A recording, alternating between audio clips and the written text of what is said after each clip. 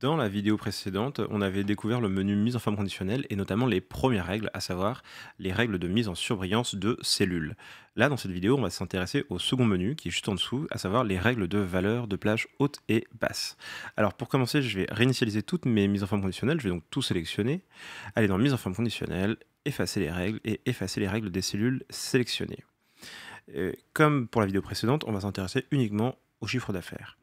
Alors si je vais dans mise en forme conditionnelle, règle des valeurs de plage haute et basse, on va commencer par faire un top 10. Alors vous me direz un top 10 sur 6 euh, valeurs, c'est pas très intéressant.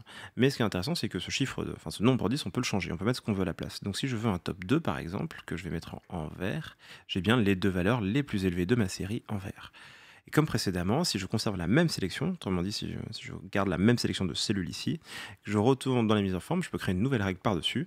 Cette fois-ci, on va prendre la troisième règle, les 10 valeurs les moins élevées. Et là encore, on va changer le 10 parce que c'est pas très pertinent. On va mettre de nouveau 2. Et donc, vous voyez que grâce à ces deux règles successives, on a bien les deux valeurs les moins élevées en rouge et les deux valeurs les plus élevées en vert. Alors je vais les effacer et maintenant on va dézoomer un petit peu et on va prendre une série de valeurs un peu plus importantes. Euh, mettons par exemple que je prenne ici les 10 premières valeurs de ma série. Et eh bien plutôt que de raisonner de manière absolue, de dire je veux les deux valeurs les plus élevées ou bien les deux valeurs les moins élevées, on pourrait raisonner en, pourcentage et dire je veux euh, les 10% euh, des valeurs les plus élevées. Ce qui est intéressant, c'est qu'au fur et à mesure que vous allez alimenter votre liste, là par exemple, vous voyez j'ai de plus en plus de chiffres d'affaires, et eh bien ça va nous permettre d'avoir un top qui euh, dont la taille augmente. Donc si par exemple on part sur un top 20%, autrement dit les 20% des valeurs les plus élevées doivent être dans une certaine couleur. Eh ben, pour cela il faut sélectionner la deuxième règle des valeurs de plage haute et basse et on va dire je veux les 20% les plus élevés. Étant donné que 20% de 10 valeurs ça fait 2, eh bien on se retrouve avec un top 2. Si par contre on était parti sur une série plus grande qui contient par exemple ici une quarantaine de valeurs et qu'on avait dit qu'on voulait les 20% les moins élevés de cette sélection, et bien étant donné que 20% de 40 valeurs, ça, euh, ça nous fait 5, ça nous fait 8 d'ailleurs, je vous dis une bêtise, et bien on va se retrouver avec 8 valeurs en rouge. 1, 2, 3, 4, 5, 6, 7 et 8.